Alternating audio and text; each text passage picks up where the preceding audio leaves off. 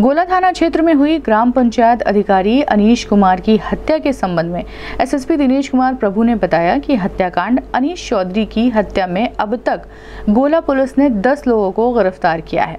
SSP ने बताया कि हत्या के तत्काल बाद पाँच अभियुक्तों की गिरफ्तारी हुई थी। दो अभियुक्तों ने कोर्ट में सरेंडर किया है तथा सोमवार को तीन अभियुक्तों को गगहा पुलिस ने गिरफ़्तार किया है। एसएसपी दिनेश कुमार प्रभु ने बताया कि सभी नामजद अभियुक्तों का हत्या में अलग अलग रोल है, जिसके तहत मुकदमा पंजीकृत किया गया था और गिरफ्तारी की गई है।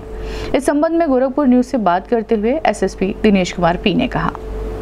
गोला हत्याकांड में अब तक टोटल 10 गिरफ्तारियाँ हो चुकी हैं, यानी आठ गिरफ्तारी दो लोग कोर्ट में सरेंडर किए हैं। आज पहले से पाँच लोग गिरफ़्तार थे, दो लोग कोर्ट में सरेंडर थे। पुनः आज तीन लोग गिरफ़्तार कर लिए गए हैं, उनको न्यायिक हिरासत में भेजा जा रहा है। ने, ये अभी विवेचक से बात करना पड़ेगा, क्योंकि जो उसमें तमाम लोग नामजद है, उसमें हर एक व्यक्ति का अलग अलग रोल है हत्या में। तो जो हत्या में डायरेक्टली इन्वॉल्व है, उन्हीं से बरामद हो पाएगा, क्योंकि उन्हीं को पता है असला कहाँ छुपा के रखे हैं या जो पकड़ेंगे वो बताएँगे। बाकी इन तीनों की गिरफ्तारी इनके रोल के अनुसार किया गया है।